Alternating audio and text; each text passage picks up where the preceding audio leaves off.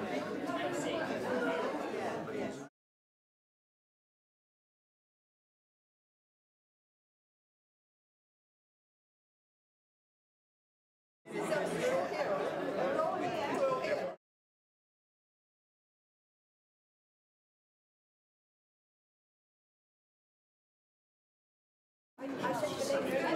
said,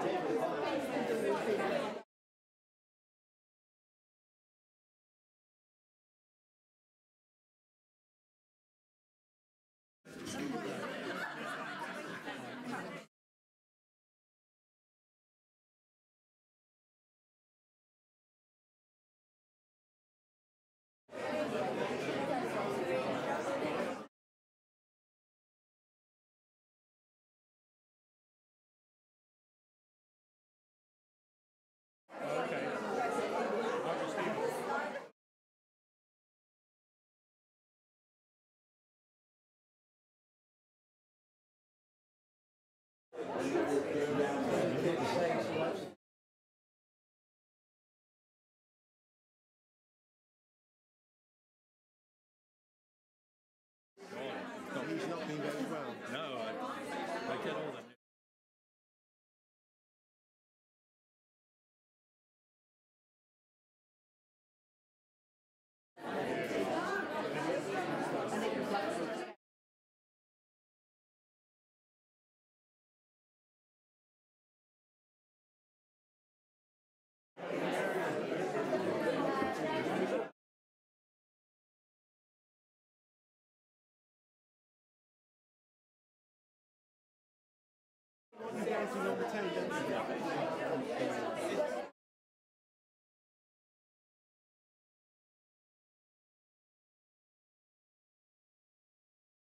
21st anniversary dinner.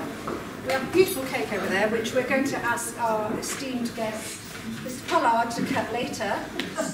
We are ma- we're doing a book, a publication, and we would like as many people as possible before John cuts the cake at the end of the meal, before we have our coffee, to gather around the cake. And Tony's going to squeeze us all in and get a shot of as many of us as we possibly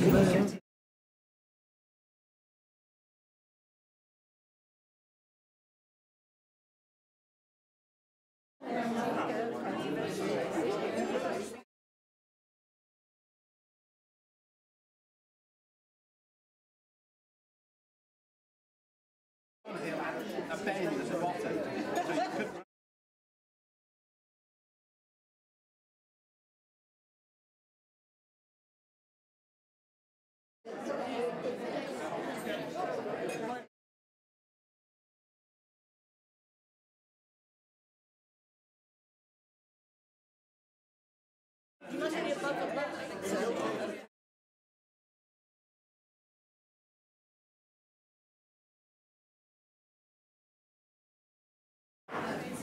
I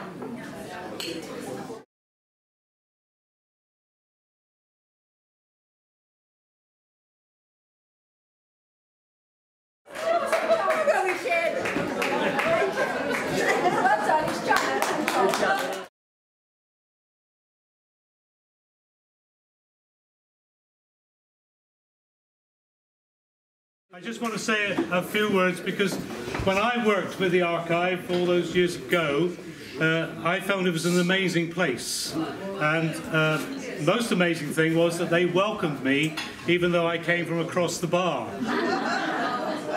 And you'll note that the uh, joy of this golf club is that when it is light, you get a great view of Hayle. Right?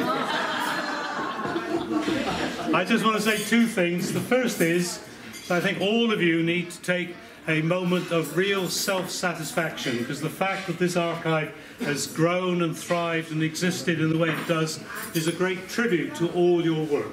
So well done to St Archive. I'm sure everybody looks forward to the next 21 years. And I hope you agree with me that there's only one person in this room who deserves to cut the 21st anniversary cake. Janet, please.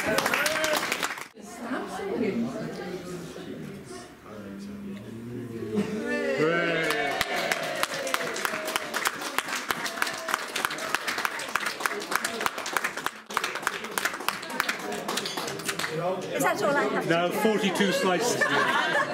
I'm sure that's fine, Janet. I'm sure that's fine. Thank you very much indeed. Well, can I just say a couple of words because I think that probably the only other person in this room who was around when we started was Greta. Although Greta wasn't a volunteer, we were in the library together, weren't we, Greta?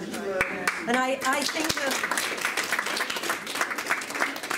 those days when the library welcomed us so warmly and um, and it's been marvellous having a succession of more and more people joining us. I actually feel quite kind of strange about it really, thinking about what we've all achieved and thanks very much to all of you because you're absolutely brilliant and I think we've got the the best archive ever.